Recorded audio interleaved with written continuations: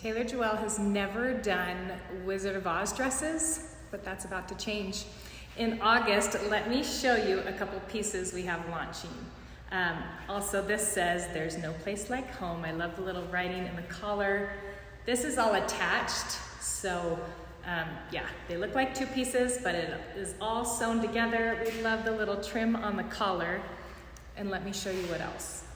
Fairy Godmother, I am so excited. So we've got this embroidered butterfly, the fun tulle with the silver stars, and my favorite part, wings. These come on and off with a button. So here's a little preview of Wizard of Oz. These are the two styles we have. Maybe eventually we'll add them all, um, a whole collection, but um, these are coming in August.